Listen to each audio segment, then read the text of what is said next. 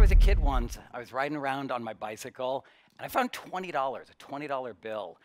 And this made me absolutely the happiest I had ever been in my life. My head was going to explode. It was so great.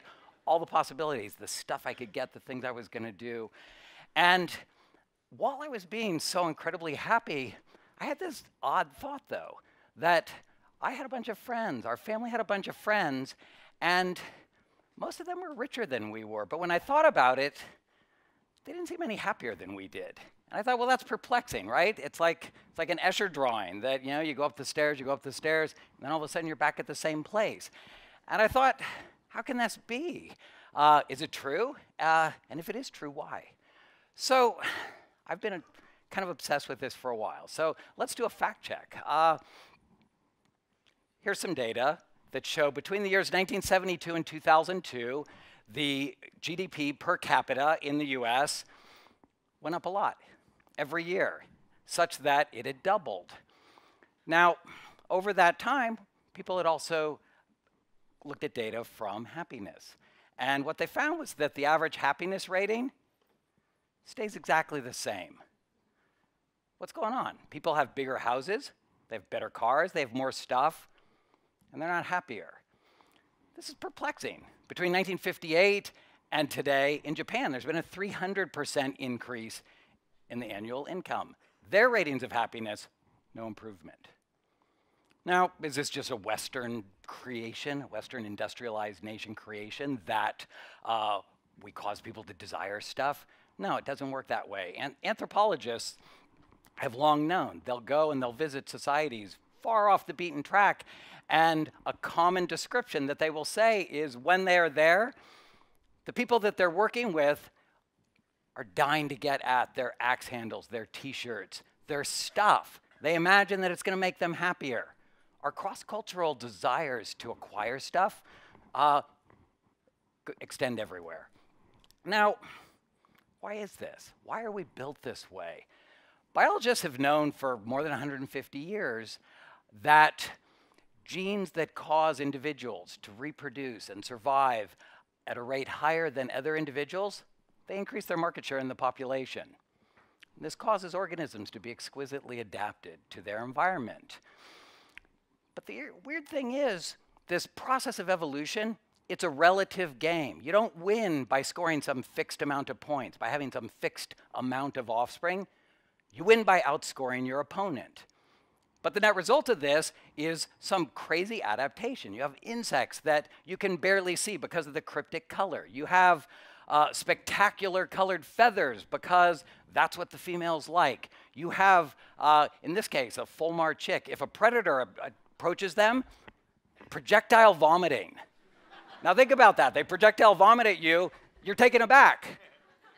Just long enough so they can get away. These are great adaptations. Now, what does happiness have to do with evolution and adaptations? Well, think about these emotions. Things like desire, jealousy, anger, guilt. These are all emotions, but evolution can act on emotions just as it can act on physical structures or behaviors. These are brain states that alter our behavior in ways that are beneficial to our genes. In other words, they're tools. Our genes are using tools to manipulate us towards their ends. And happiness is one of these as well. So we think that we're just pursuing our own happiness, but what we're really doing is we're pursuing our gene's agenda. And this has some unexpected consequences, some surprising implications. Uh, consider the lottery. Now, you think if you win the lottery, then you're going to be happy forever, right? Well, one thing you can count on if you do win the lottery is that there are researchers who are going to knock on your door, along with everyone else, probably after you've won, and they're going to ask, How happy are you? And not surprisingly, people rate on a scale of one to seven. They rate their happiness when they win the lottery at seven. It really does make you happy. But they come back a year later and they ask them. And this is so hard for my mind to wrap itself around. Their ratings of happiness are back down to pre lottery winning levels within a year. What's going on? The flip side is true as well. People who have been in catastrophic accidents resulting in paralysis After that, sure enough, their happiness bottoms out at one out of seven. But when researchers talk to them a year later, what they find is that people have recovered. They rebound in terms of their happiness, and it comes back up to pre accident levels. That's odd, right? So, all right, well, I care about happiness though. I just want to be happiness. I, I want to be happy. What, what is some advice that I can get from this?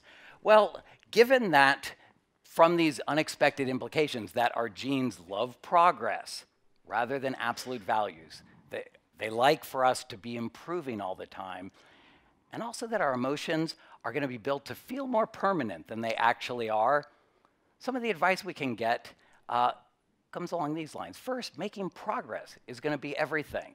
In other words, moving towards goals rather than actually getting to their goals. I called my friend Terry up one night and I said, Hey, how are you doing? He said, oh, I'm feeling kind of bad. I said, Well, why? I said, What'd you do today? He said, Well, I bought pants. I said, Well, what do you mean? He said, Well, I had my to do list. Uh, we all have to do lists. He said, and I've been needing to buy pants. I hate to shop, but I did it. I said, all right, that's good. He said, no, no, I need to write my dissertation. True. All right. So I said, what happened? He said, well, I've got on my list, buy pants, I've got write dissertation. And so I bought the pants. now, you're laughing, but how many of you out there are like me? You make a list some days, and I'll put things on the list like eat breakfast. A, I love eat breakfast and it's easy. B, I've already eaten breakfast. I get to check it off. Take shower, done. Why do we do that? It actually does make us happy. And so we're checking it off because we're making progress. Why? Because happiness, it's just a tool. Our genes are inducing us to have our current situation be better than it used to be.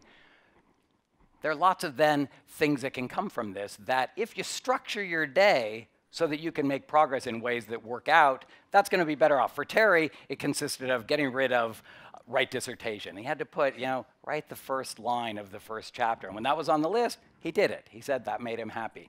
Hemingway had a great quote. Someone asked him, How much should you write every day? And he, sa- he said, You should write and write, and then when you're going really good and you know exactly what's going to happen next, stop there.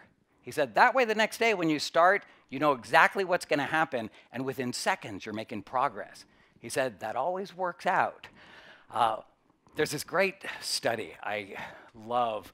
A researcher uh, had a bunch of people, subjects, fill out these questionnaires about a whole bunch of different things, including their happiness in their life. They then had to go make a photocopy of something. He sent them to an office nearby. He engineered it so that for half the people, when they got to the other room, there was already a dime sitting on the photocopier. The others had to fish through their pockets to find the dime to make the copy. Then they came back. He filled out this questionnaire, and he had another question about, on the whole, how do you feel uh, with your whole life? It turns out that the people who had found the dime on the copier had higher ratings of their lifetime happiness than the other people for a dime. Because of the way our emotions have been built, it's less even about the absolute value of the change and it's more about the change. That's very important. But what other advice do we get? We get the advice that you have to take your goals less seriously. Imagining that if I could just get this, then I'll be happy forever. That's just not true. We're evolved so that we believe that's true. That's why our emotions are such good incentivizing tools. But what happens is that when you get there, the happiness goes away, like the lottery. I have a friend, Peter, and when Peter was in graduate school, he was worried all the time. He's like, oh, I'm never going to get a job. It's so hard in the academic job market to get a job. I'm never going to get one. And then he got a job. And he was so happy and I saw him a couple weeks later and I thought, wow, you just must feel so great that it's all paid off.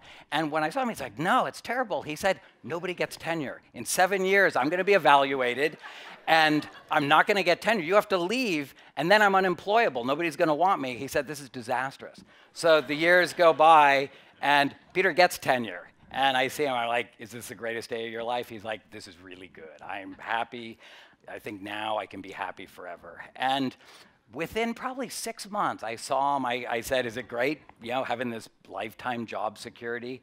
And and they had, already, they had also made him department chairman. He said, "Nah." He said, "There's no money anymore. All the people in the department they have to get they have to get research funds. What are we going to do? It's really bad."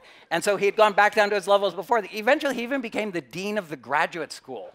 Great position. He said it's really a hard time in, in academia these days. And for the most part, he was a happy guy, but he had these peaks and he always came back down. So if you are working towards some goal that you think things are terrible right now, but when I get there, then finally and forever I will be happy, you're going to be disappointed because it's not going to work that way. You also need to take more chances. One of the consequences of having these emotions that are more short lived than we imagine they're going to be is that pain and humiliation they don't last nearly as long as we think they might. You want to ask somebody out on a date, you should do it. You want to indulge in some whim, you should do it. You want to try something that makes you afraid, you should do it because your perception of the worst case scenario is wrong.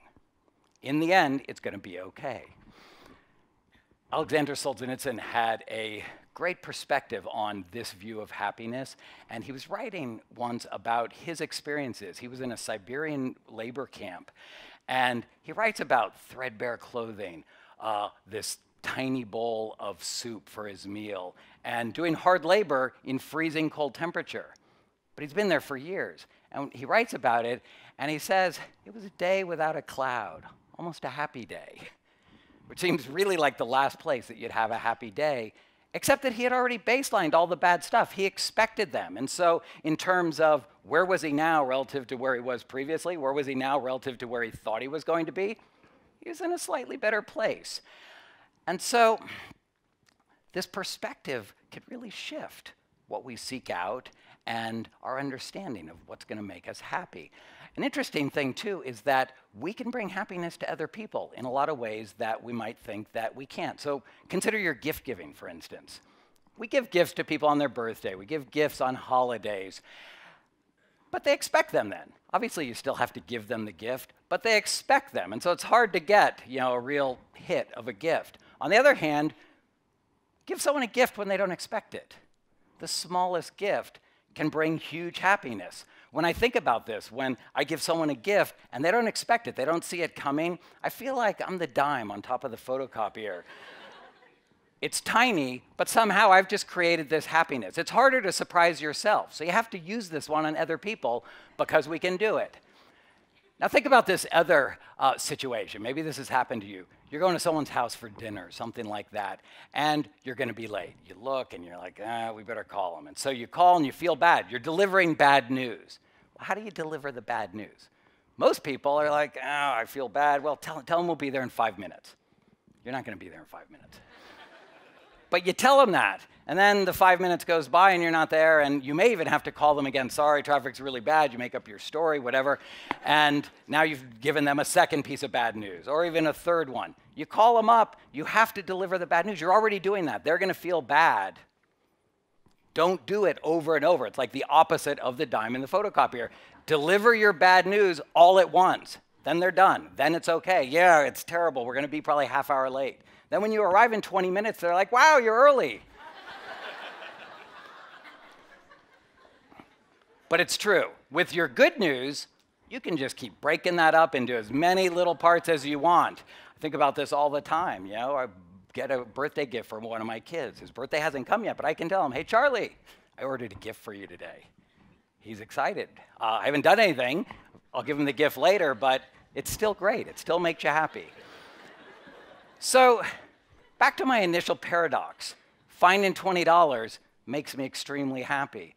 But having more money doesn't make you happier than having less. How can that be? Well, if we look at this perspective that our emotions, particularly happiness, are just tools that our genes are using in order to get us to try to achieve their goals, to try to better our situation. And once they've done that, they're done, so they have to shut down.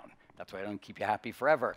Once we realize this, then we can understand we have to structure our lives so that we are getting, making progress as often, as continuously as possible, both for us and for all the people around us.